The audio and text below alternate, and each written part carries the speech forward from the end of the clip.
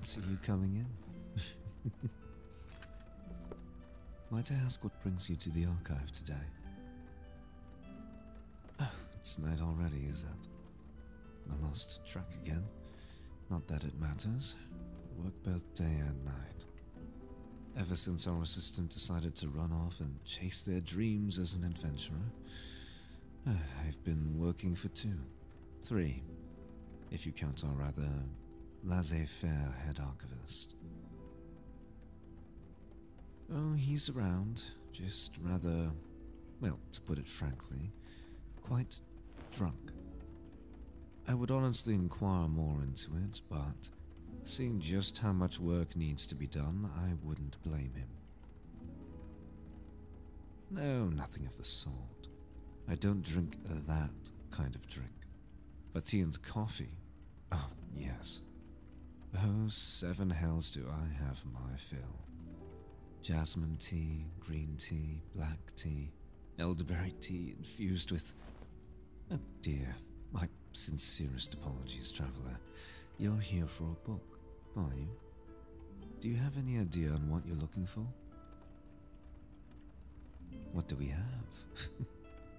I'll have you know that this is more than some small corner shop or hole in the wall bookstore. This is an archive filled with a veritable wealth of knowledge. Centuries of study, stories, and so much more. If you could imagine it, there will be something here for you. I am quite confident in the archive's halls and their innate ability to draw you in and lead you to something interesting. Perhaps not as outwardly interesting as being out there as an adventurer, but exciting and intriguing in its own right. Out there in that vast, spectacular world, songs sung and teas tasted. Uh, you're right, perhaps ales and wines and spirits of that nature. But nonetheless, spectacular things wait around every corner. The same goes for this fortress of knowledge. Those same battles, dreams, and hymns sung of heroes all exist right here, forever immortalized in text and art, in runes and stone, and all from the comfortable, safe, cozy halls of this archive. Oh, I've nothing against adventurers. My apologies if I came off as abrasive. I just envy them. You wouldn't happen to be an adventurer, would you? You are?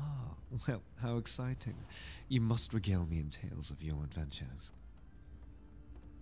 Hmm, you may be happy to now, but know that telling me stories of your travels will be at your peril.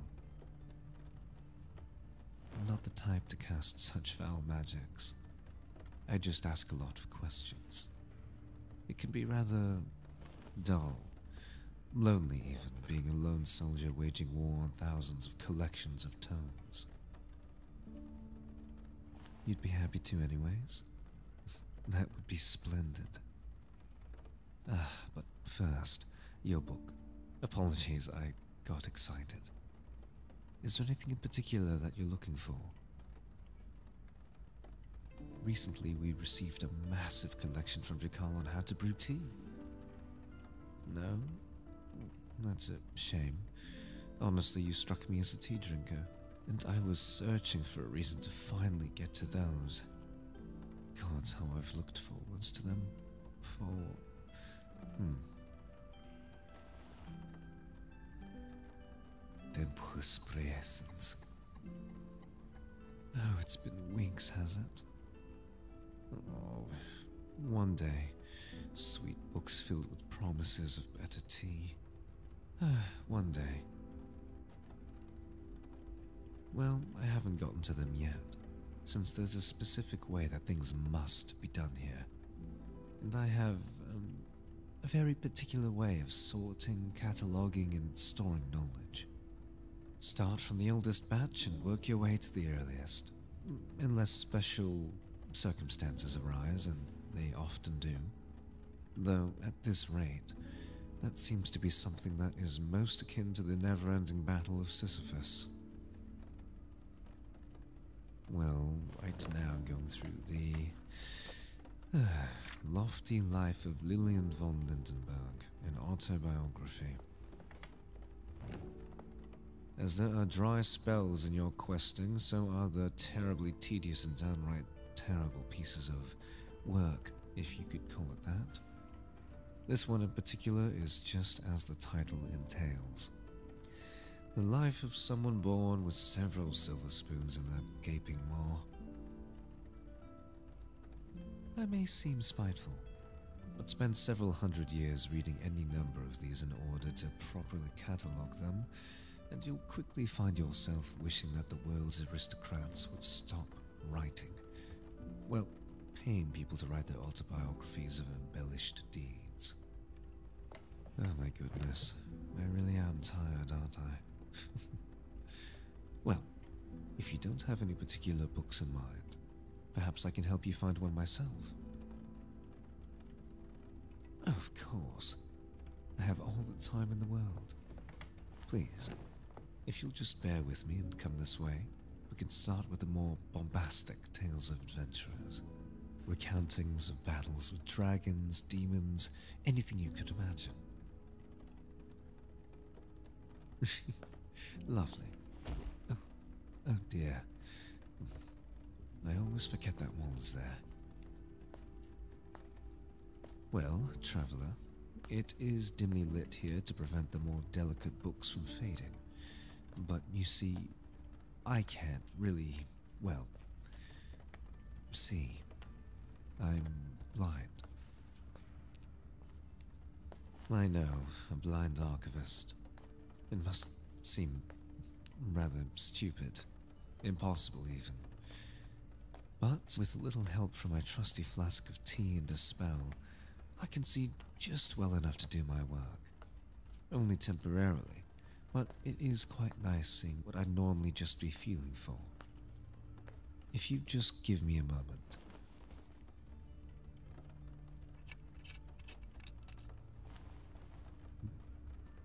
Ah, Still better. Oh, far too better. Damir Vizul. And there it is again. The blurs and shadows that are my world now, albeit a bit clearer. Um, well, I lost my sight a hundred and some odd years ago when I was, uh, when I was still out there in that beautiful world adventuring too. To sum it up for you, I was chasing ancient ways to more efficiently store knowledge and to better understand this realm's link to magic. I was trying to. I sought powers that were beyond my control, made deals with. with people that I shouldn't have. And in my search, I paid the price. I wanted to see the world, to gaze upon greatness and follow other great adventurers on quests, to maybe someday become one myself. But that toll, that sacrifice I made, it cost me my eyesight. Now I can see but glimmers of the world around me. And even then, only with the aid of magic, and through years of practicing as an apothecarian. Yes, how perceptive of you. The brew I make, it helps aid my vision further. Even still, it's barely enough without casting light upon the books I read just to make out the letters. no harm in asking. Questions bring answers and results, though oftentimes more than not, those results are less than satisfactory. Ah, but here we are. The adventurer's tales from Grinflow to Blackwater. If you go down this aisle, you'll find more tomes from Jakal and beyond.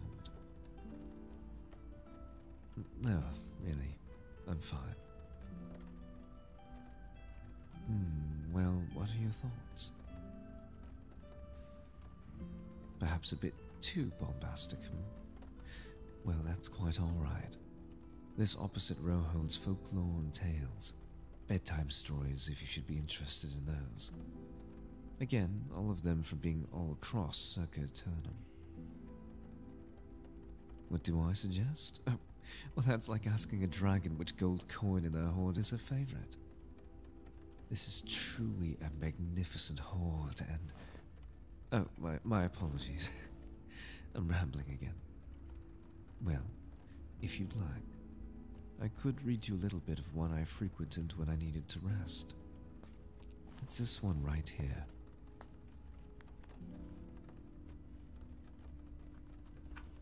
Would you like to sit with me for a while?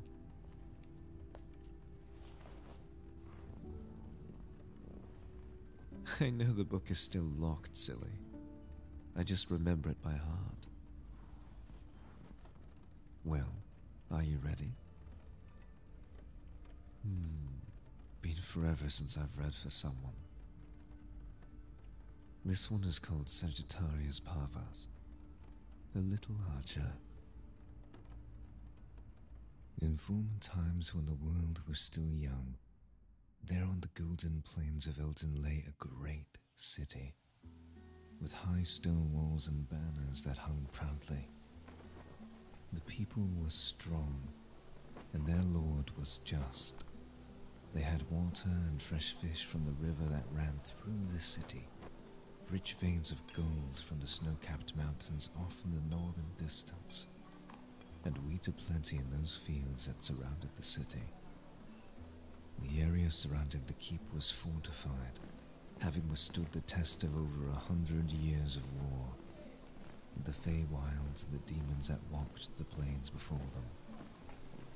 The palace's halls were a beautiful white marble with gold trim, vast courtyards hosting a variety of flowers from across Terran Within all this beauty lay a great sickness. The fair lord of Eldon, in his crusade against the hordes of the north, had succumbed to a grave injury on the field of battle. Sickness had taken to his wound, and though many tried, none could succeed in healing the cursed, festering mutilation that he'd been subjected to. The fair lord put out a summons to adventurers from all across the land. From the murky boglands and their raiders to the high peaks of Holdfast, he tasked them all with finding the heart of a great stag, a demigod of the golden plains whose blood, ever pumping from the sacred vessel, could cure him of his affliction and save his life. Sellswords and saints alike took up arms and stalked down the golden stag. Though the creature was elusive, eventually the forests were burned, the fields salted, all in search of the cure.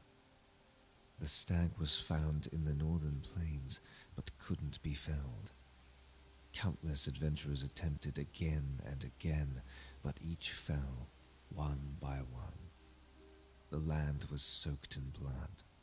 Trees began to wither, the very streams and lakes that once sustained the land became murky and pestilent as the golden stag retreated deeper into the wood. Amongst the heroes that fell in search of the great wealth promised to whoever brought the fair lord his only hope, there was a young archer, Parvos aptly named, stalked the beast through the woods alongside many others. Though not strong, the boy wished to become a better man and sought the beast not only for the wealth, but for self fulfillment, for his family. Seeing it as his great calling, his ascension to become something better. Coming from a small hunting village lost to memory, he had nothing to lose, but everything to gain. Time and time he found the golden creature standing so tall that its antlers reached above the trees. Those piercing blue green eyes that surveyed the dying land around it met his own. And over and over, the boy nocked his bow and let his arrows fly towards the beast, but none met their mark. Always thinking ahead, yet always a step behind, he grew weary as he chased the stag across Terran, through frigid mountain passes and across fjords, through treacherous bogs and dense forests, until one night he found the stag sleeping amidst a storm. How peacefully it lay there as he drew back his arrow. He perched up on rock face and could see it there in all its beauty. Golden hide, slow breaths as its chest rose and fell. Parvos's own breath faltered as he aimed at the creature's head. Just as he was to let the arrow fly, he slipped, the rocks he was perched upon crumbling away as he fell a great height. Seconds passed, more than a few, before he found himself at the bottom of the crag. With blurry vision, he looked around, still desperately reaching for his bow despite the pain that held every fiber of his being. Scanning feverishly for the beast of promise, the golden stag. His sight began to fail him as his breaths quickened, the blood dripping from his body mingled with the rain and mud beneath him.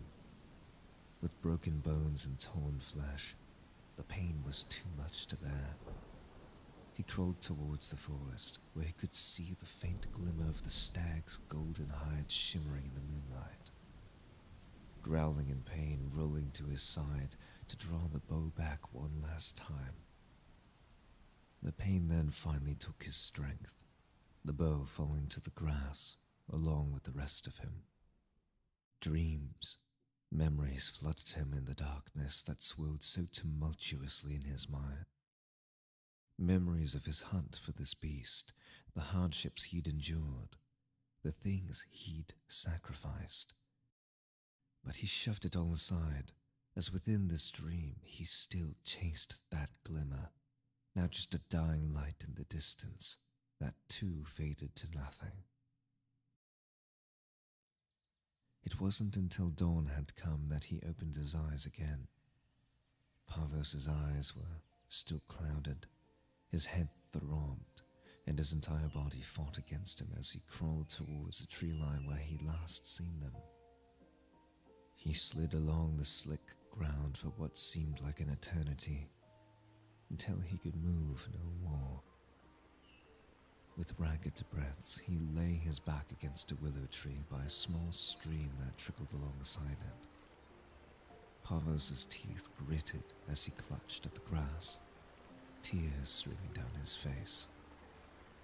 There he sulked quietly in the silence of the forest. With only the wind as company, he lurched to his side, gazing at his reflection in the stream. The boy had long since faded away, where youthful eyes so full of pride and bravery had dulled the crow-footed weary eyes of a man who had ventured his entire life in search of something he could never reach, the golden stag of promise, so close yet unattainable. His brown hair had turned stark white, the supple sun-bronzed skin scarred and battered beyond recognition. He had fought many hard battles, overcoming insurmountable odds, saved hundreds of lives during his lifelong quest of hunting down the stag. It was never his goal, but he did it anyways, much to his own risk, much to his own detriment.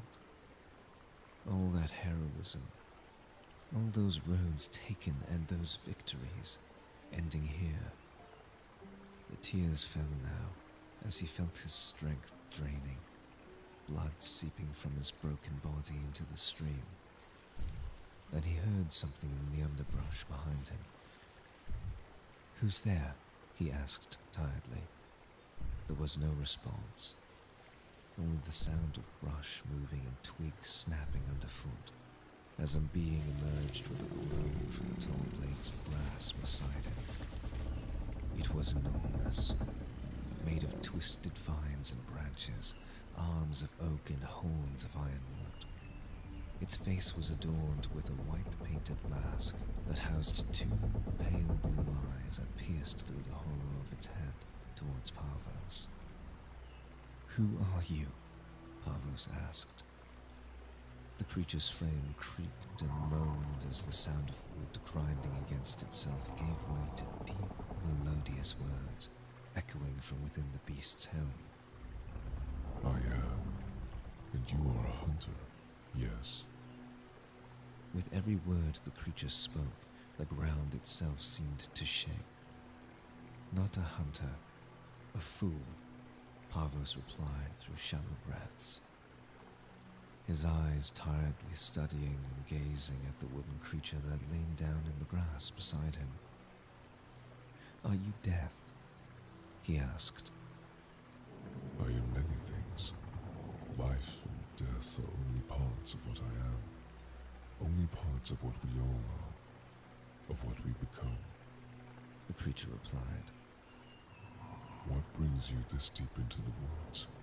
This place isn't for the living. I sought a prize, a golden stag. With it, I could be someone. I could live comfortably and provide the same to those I loved. I'd be praised and rewarded. From where do you hail? I. I can't remember. I suppose it doesn't matter now. I'm dying.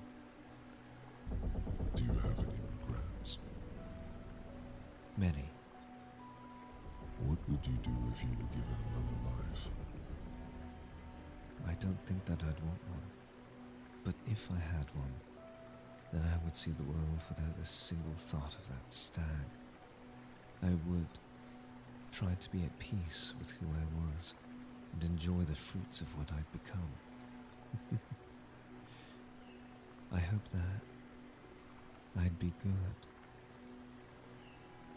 Parvos's head lolled to one side as he dropped the bow from his hands onto the grass his eyes half open, staring out sightlessly at the stream. The creature stirred, its lumbering form now towering over Parvos. It lowered its wooden body towards the ground, the white masked head close to his. And with this, it whispered in speech lost to the ages, unheard by any but the forest. From Parvos's body lifted a small, dimly glowing wisp, which found its home inside the beast as it breathed in the tiny fragment of soul. Atop the branched back of the beast was a fledgling robin, still in its nest, unable to fly. The creature began to move, lumbering its way deeper into the forest, stirring the robin awake. The robin's eyes glowing, pale blue.